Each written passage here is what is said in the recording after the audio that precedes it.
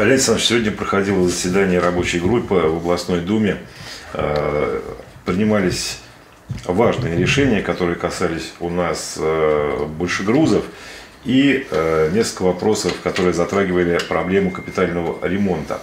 Вот расскажите, что решили депутаты и почему тот же вопрос с большегрузами вы, насколько я знаю, назвали даже революционным?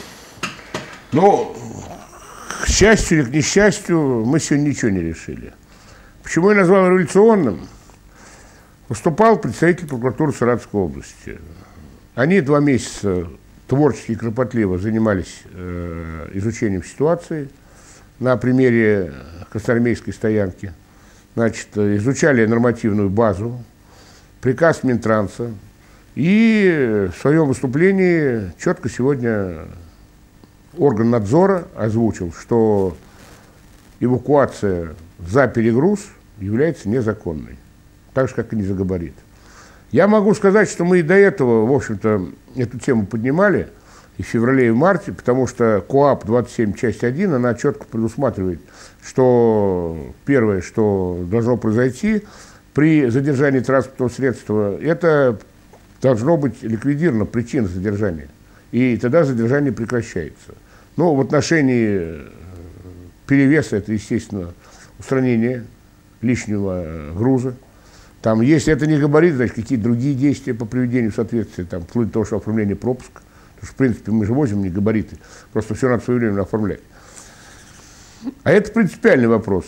То есть, если исходить из того, что было озвучено, то все, что делалось до фактически сегодняшнего дня и продолжает делаться, не совсем законно.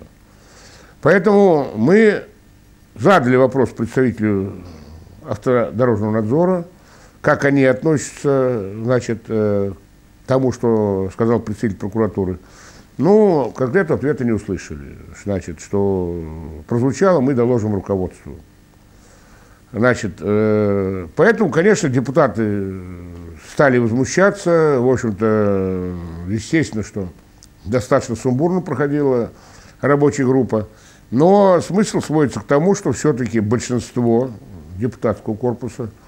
Большинство из тех, кто присутствовал, э, пришли к выводу, что наш региональный закон надо достаточно кардинально переделывать и четко прописывать, что все, что в рамках закона, в рамках наших полномочий по организации, так сказать, э, порядка эвакуации и хранения, это должно касаться только тогда ситуации, когда у нас э, или транспортное средство неисправно, или какие-то иные причины, связанные с его эвакуацией, но не перегруз и не, не габарит.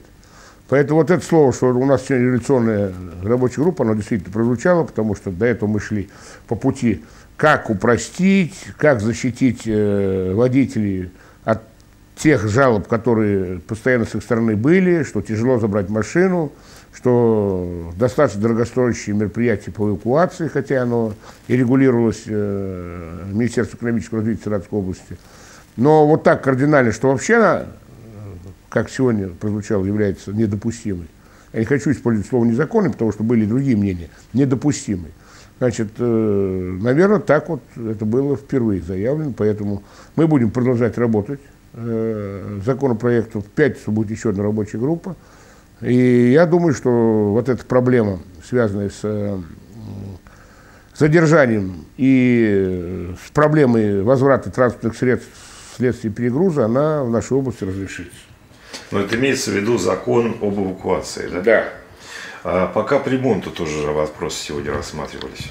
Там не было ничего глобального, такого, чтобы было бы определяющим. Просто у нас на сегодняшний день существует практика, когда Э, подрядные организации э, должны делать полностью все за свой счет, э, сдают работу, и спустя пять дней фонд должен оплатить.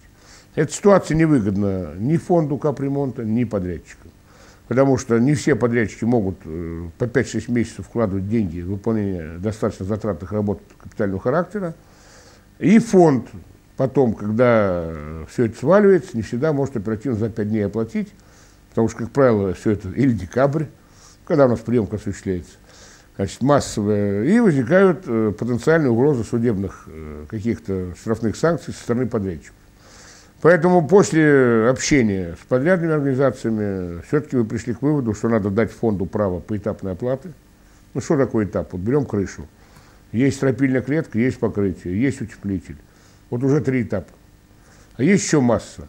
Значит, э, тогда не надо будет э, вымывать собственные оборотные средства, но в обмен на это подрядчик должен в договорах уже не требовать в течение пяти дней, а про эти договоры будут иные сроки оплаты, но они будут приземленные.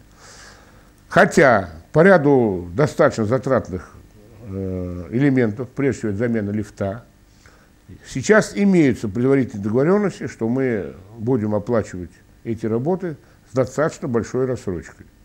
Для того, чтобы увеличить количество в год, нам надо растянуть оплату. И те, кто производит лифты, уже идут на то, чтобы, особенно сейчас в условиях кризиса, когда, как я предполагаю, товарное кредитование выйдет на новый уровень, значит, э, чтобы увеличить объем замены лифтов. Поэтому вот эта вот рабочая группа сегодня состоялась, мы приняли это решение и будем носить на заседание Думы для принятия в двух чтениях.